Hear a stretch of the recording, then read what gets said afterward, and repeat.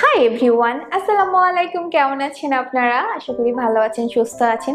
তো আমি চলে এসেছি আরেকটা ব্র্যান্ড নিউ ভিডিও ভিডিও শুরু করার আগে বলব যে, যারা এখন পর্যন্ত আমার চ্যানেলটি সাবস্ক্রাইব করেনি, তারা সাবস্ক্রাইব করে নেবেন। আর পাশে দেওয়া যে বেল বাটনটা আছে, সেটাও ক্লিক করে নেবেন। তাহলে চলুন আজকের ভিডিওটা শুরু করি। আজকের ভিডিওটা মূলত হাঁটার উপকারিতা বা ওজন কমাতে হাঁটা বা এই যে হাঁটাহাঁটি করা কীভাবে আমাদের সাহায্য করে থাকে বা হাঁটার মাধ্যমে কীভাবে আমরা ওজন কমাতে পারি। অনেকে আছেন, আমাকে মেসেজ করেন যে, আপু এক্সারসাইজ করার টাইম নাই বা এক্সারসাইজ করতে ভালো লাগে না, তো কি করতে পারি? তো আমাদের তো কিছু করতে হবে। তাই আমি খুব সহজ একটা সমাধান নিয়ে এসেছি আপনাদের জন্য, তা হচ্ছে হাঁটুন। বেশি বেশি হাঁটুন। আর হাঁটার মাধ্যমেই কিন্তু আপনি আপনার ওজনটা কমাতে পারেন। প্রথম পয়েন্ট হচ্ছে, প্রতিদিন আপনি দশ থেকে পনেরো হাজার স্টেপ হাঁটবেন। কিন্তু একটা প্রশ্ন থেকে যায় যে, এই দশ হাজার বা পনেরো হাজার স্টেপ আমি কি করে কাউন্ট করব। এই জন্য কিন্তু আপনার স্মার্টফোনে আপনি বিভিন্ন রকমের স্টেপ ট্র্যাকার পাবেন কিংবা বিভিন্ন রকমের অ্যাপস পাবেন যেগুলো ডাউনলোড করে কিন্তু আপনি ফোনটা যদি আপনার হাতে রাখেন বা একটা ব্যাগে ঝুলিয়ে রাখেন আর সাথে সাথে আপনি হাঁটেন, তাহলে কিন্তু আপনার স্টেপটা কাউন্ট করবেন যে আপনি কত হাজার স্টেপ হাঁটলেন বা কত হাজার পা হাঁটলেন।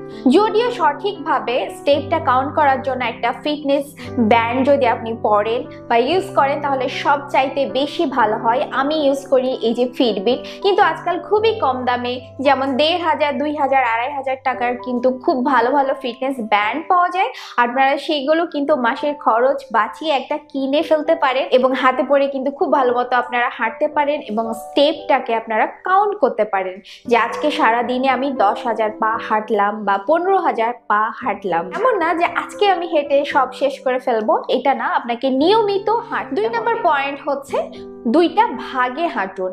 প্রতিদিন তিরিশ মিনিট করে করে দুই বারে হাঁটুন, তাহলে আপনার ভালো লাগবে বা বোর ফিল করবেন না। হাঁটার সময় অনেকে ডিস্টার্ব ফিল করে বা সময় যেতে চায় না এই জন্য আপনি কি করতে পারেন? আপনি হেডফোনে গান শুনতে পারেন, কিংবা যারা বিভিন্ন রকমের ইসলামিক ওয়াজ শুনতে পছন্দ করে, তারা সেটা শুনতে পারেন, বিভিন্ন রকমের মোটিভেশনাল কথাবার্তা শুনতে পারেন, বা আপনার যা ইচ্ছা আপনি সেটা শুনতে পারেন। আর সবচেয়ে তো ভালো হয় যদি আমার ভিডিওগুলো শুনতে শুনতে হাঁটেন তাহলে আমি কিন্তু আপনাকে মোটিভেট করতে পারি।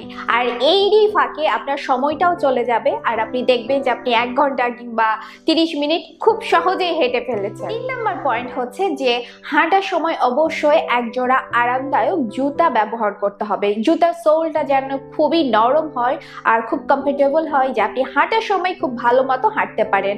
আর জুতা পরে হাঁটলে কিন্তু কোনো বিপদ হবার আশঙ্কা থাকে চার নম্বর পয়েন্ট হচ্ছে অনেকেই আমাকে বলেন যে, আপু, আমরা বাইরে জব করি বা সারাদিন অফিসে থাকি বা স্কুল কলেজে থাকি, সারাদিনই বাইরে থাকি এক্সারসাইজ করার টাইম পাই না বা হাঁটার টাইম পাই না। আমরা কখন হাঁটবো? আমি আপনাদেরকে বলব যে, আপনারা যখন অফিসে বা স্কুল কলেজে যাবেন, তখন হেঁটে যাবেন, হেঁটে আসবেন।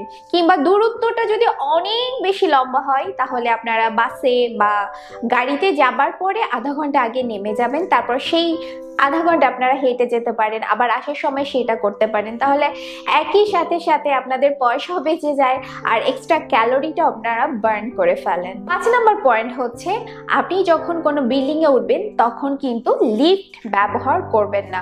প্রতিটা বিল্ডিংয়ে কিন্তু সিঁড়ি থাকে, আর সিঁড়ি বেয়ে বেয়ে ওঠার চেষ্টা করবেন, আবার নামার চেষ্টা করবেন। তাহলে আপনি দেখবেন যে কখন কখন আপনার এক্সট্রা ক্যালোরি বার্ন করে ফেলেছেন, আপনি নিজেও বুঝতে পারেননি। আপনারা কি খেয়াল করেছেন যে এক সময় কিন্তু বিভিন্ন বিল্ডিং এত লিফট ছিল না। তখন কিন্তু মানুষ পাঁচতলা, ছয়তলা সেই সিঁড়ি বেয়ে উঠতো, সিঁড়ি বেয়ে নামতো, তারা কিন্তু অনেক বেশি ফিট ছিল। কিন্তু এখনকার মানুষ আগেই জানতে চাই যে লিফট আছে কিনা। তো লিফট থাকুক আর না থাকুক, আপনি সিঁড়ি বেয়ে উঠবেন নামবেন যদি আপনি আপনার অতিরিক্ত ওজনটাকে কমান যখন আপনি হাঁটতে যাবেন, তার আগে অবশ্যই আপনি এক কাপ গ্রিন টি পান করবেন। গ্রিন টি খাবার ফলে যেহেতু আপনার মেটাবলিজম বাড়বে, সেহেতু এই হাঁটাটা আপনার বেশি কাজে লাগবে। আরেকটা পয়েন্ট হাঁটা মানে এমন না যে হেলে দুলে আরাম করে বান্ধবী বা বন্ধুর সাথে গল্প করতে করতে হাঁটা এমন না। আপনাকে হাঁটার সময় কিন্তু খুব দ্রুত হাঁটতে হবে। যতটা দ্রুত আপনি হাঁটতে পারেন। এর ফলে দেখা যাবে আপনি যত দ্রুত হাঁটছেন, আপনার হার্টবিট তত বাড়ছে। আর এর ফলে আপনার ক্যালোরি কিন্তু তত তাড়াতাড়ি বার্ন হচ্ছে। আপনি প্রথম পাঁচ মিনিট খুব দ্রুত হাঁটবেন, তারপরে যদি আপনি হাঁপিয়ে যান তাহলে দুই মিনিট একটু আস্তে হাঁটবেন, তারপর আবার পাঁচ মিনিট আপনি দ্রুত হাঁটবেন, যতটা দ্রুত আপনি হাঁটতে পারেন।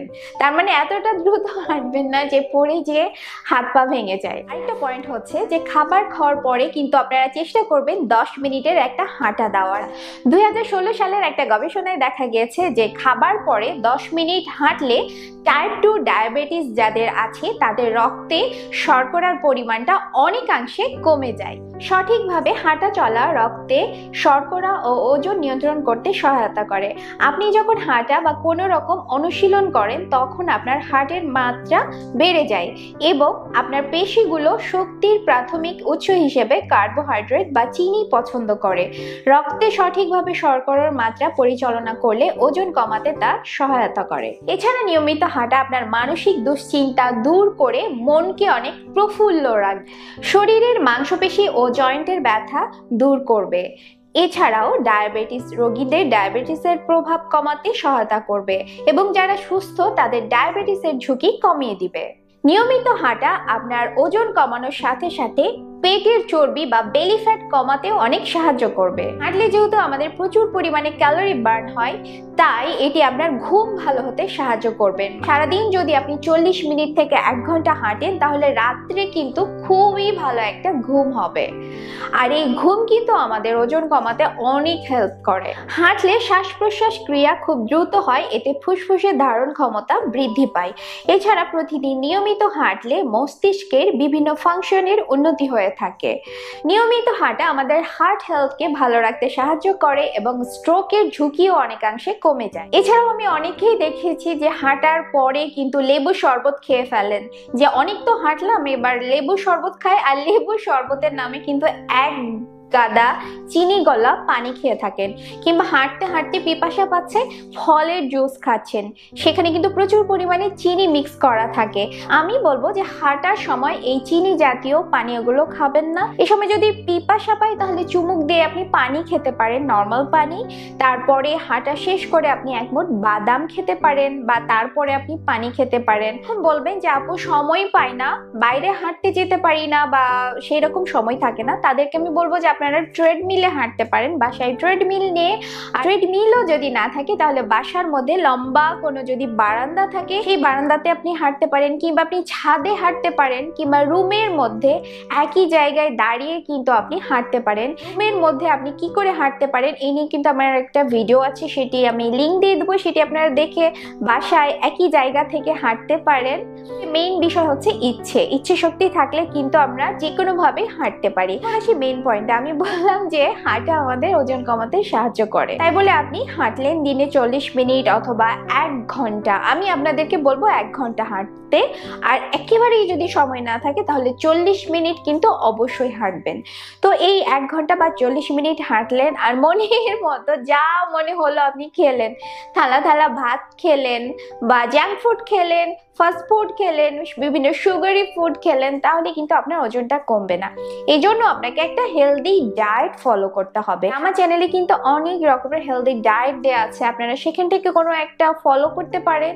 তো খুবই সিম্পল আসলে একটা হেলদি ডায়েট ফলো করবেন আর হাঁটবেন, তাহলে কিন্তু আপনারা আপনাদের কাঙ্ক্ষিত ওজনে যেতে পারেন। এখন থেকে আর কোনো এক্সকিউজ আমি শুনতে চাই না যে, আপু, সময় নেই, জায়গা নেই এক্সারসাইজ করতে পারছি না, হাঁটতে পারছি না। আমি সকল কিছু সমাধান আপনাদের দিয়ে দিলাম।